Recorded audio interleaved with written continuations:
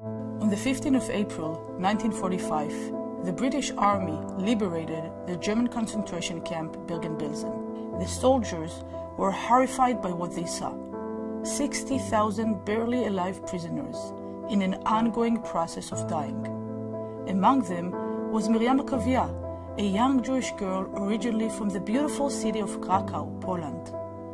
During the Holocaust, her brother was killed by the Gestapo, her father murdered in Mauthausen, and her beloved mother, exhausted and starved, died days before liberation. Miriam, weighing only 25 kilograms, already saw herself as a sure candidate for death.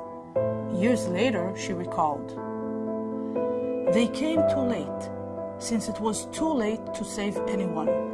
The whole world was lost and destroyed. The whole world that was worthy of being called a world was gone. Miriam didn't feel sorry for herself, but for them, the liberators. She felt that the world missed its chance.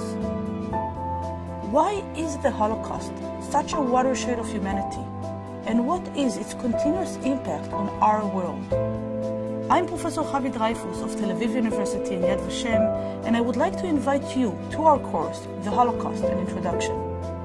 In this course, you will meet leading experts in the field who will expose you step by step to the ideology and developments which led to the systematic mass murder of six million Jews mothers, fathers, children, human beings.